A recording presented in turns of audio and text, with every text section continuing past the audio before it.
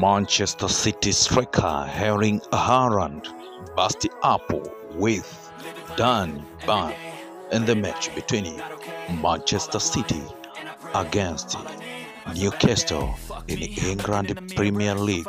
This happened after Erling Haaland struggling to find a goal for his team Manchester City, immediately occurring and busting up against these two strikers, Erling Haaland against Dan in England Premier League between Newcastle and Manchester City.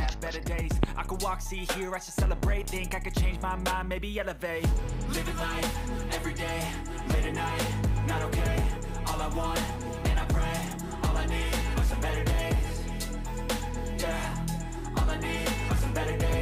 all I want, and I pray, I believe in the better days. I'm kinda stuck between a rock and a hard place. Do I work hard?